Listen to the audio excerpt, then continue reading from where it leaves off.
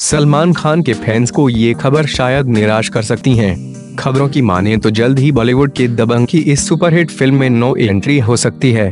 दरअसल डायरेक्टर अनीस बाजमी काफ़ी लंबे समय से अपनी सुपरहिट फ़िल्म नो एंट्री का सीक्वल बनाने की कोशिश कर रहे हैं, लेकिन सलमान खान की बिज़ी शेड्यूल के चलते वो उसे शुरू नहीं कर पा रहे हैं।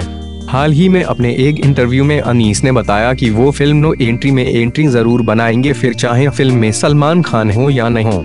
लगता है अनीस ने अपने फैसले पर काम करना शुरू कर दिया है और अब वो सलमान खान के बिना ही इस फ़िल्म को बनाने की सोच रहे हैं। कहा जा रहा है कि सलमान खान इस समय कोई भी कॉमेडी फ़िल्म करने के मूड में नहीं है। उनकी एक्शन फ़िल्मों को दर्शक काफ़ी पसंद कर रहे हैं, इसलिए वो अभी इसी तरह की फ़िल्मों को करना चाहते हैं, जिसकी वजह से फ़िल्म के निर्माताओं को दूसरे कलाकारों का रुख करना पड़ रहा है।